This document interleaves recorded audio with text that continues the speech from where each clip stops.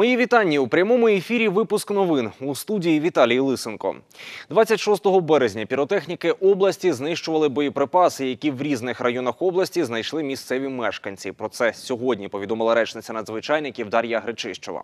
У Солонянському районі у селі Промінь під час збору дров чоловік знайшов боєприпас. Ще один застарілий снаряд місцевий знайшов у лісосмузі селища Водяне. Обидва боєприпаси знешкодили на спеціальному майданчику.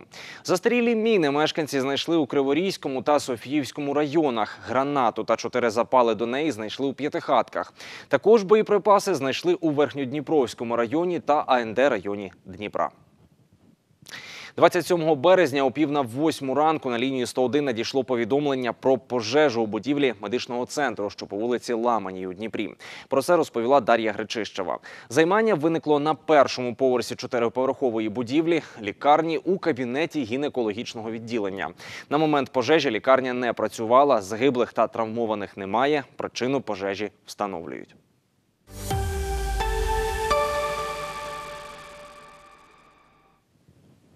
У Кривому Розі стартував новий семестр в університеті третього віку. Таку назву отримав соціально-педагогічний проєкт, котрий діє в міських територіальних центрах.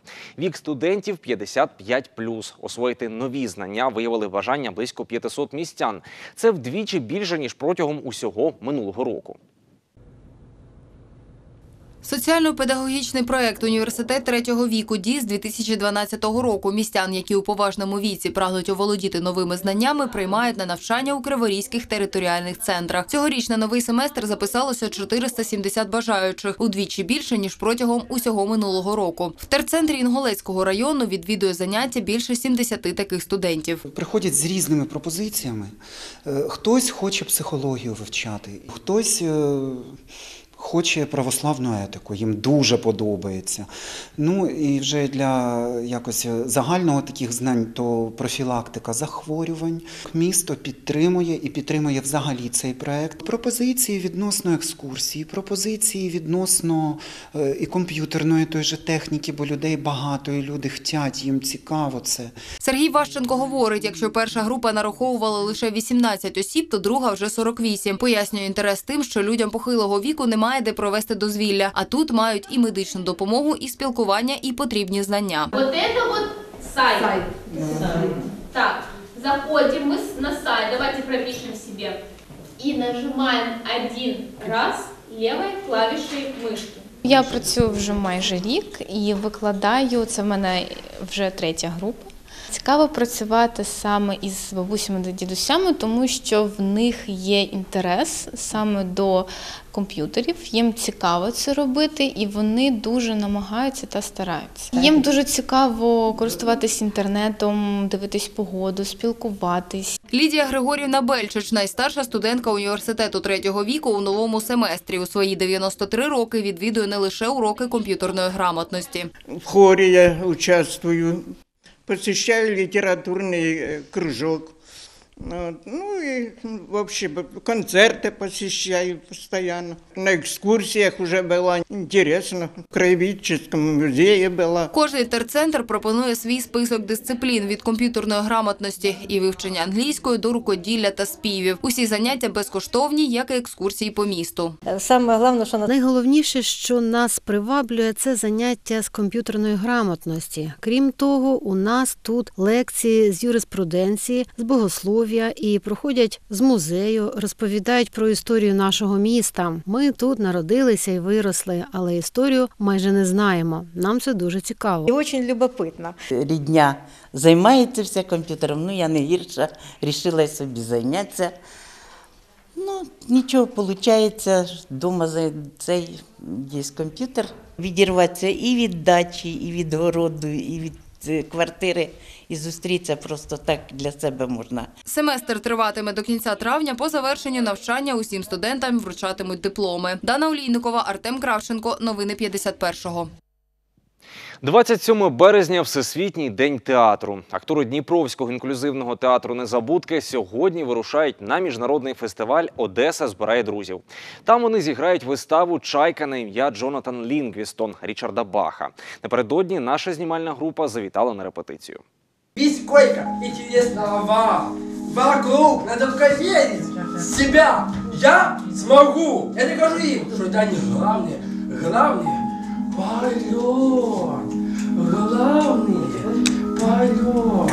Артем Скаліуш грає головну роль у спектаклі. Актору 20 років. Найскладнішим під час репетиції спектаклю каже було вивчення тексту. Ну, було дуже сложно. Мені було дуже складно вимовляти такі слова, але я взявся і все вивчив на пам'ять. Я все, я заучив, я на пам'ять. Із майбутньою професією хлопець ще не визначився. Розглядає варіанти стати професійним актором, співаком або кухарем. Розповідає, в театрі знайшов багато друзів. Вони дуже круті. Вони дуже круті, вольові, цілеспрямовані та мудрі. Круті мужики. Помни, мы летаем для того, чтобы есть. Главная еда. Чтобы есть, чтобы есть, чтобы есть.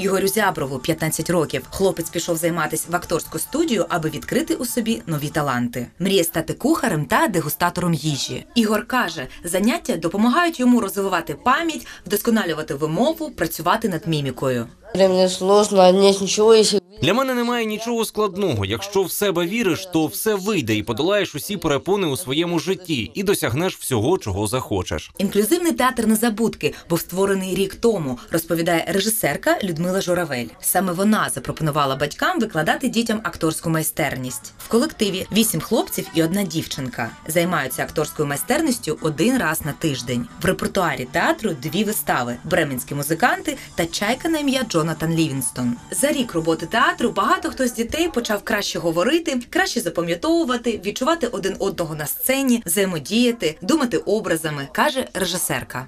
научили цінити каждую минуту життя. Вони навчили мене цінити кожну хвилину життя, як би високопарно це не звучало.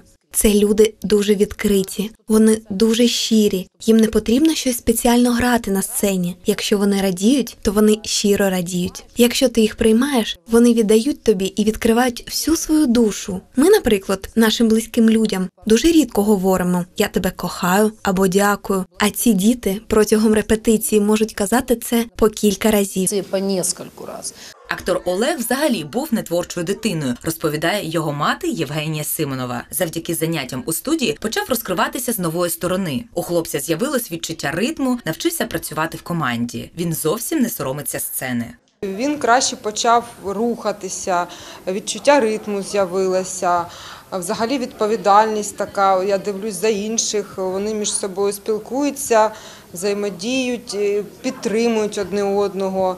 Друзі в нього тут з'явилися. Головна задача театру, аби діти могли вільно спілкуватись у соціумі, каже режисерка театру. Тому сьогодні актори відправляться в Одесу, аби 29 березня виступити в якості гостей на міжнародному фестивалі Одеса збирає друзів. Удачи, удачи, удачи! Тетяна Загора, Олександр Шалдибін. Новини 51-го. На цьому випуск завершено. Більше інформації ви можете знайти на нашому сайті. Його адресу ви зараз можете бачити на своїх екранах, а також на нашій сторінці у Фейсбук. Побачимось у наступних випусках.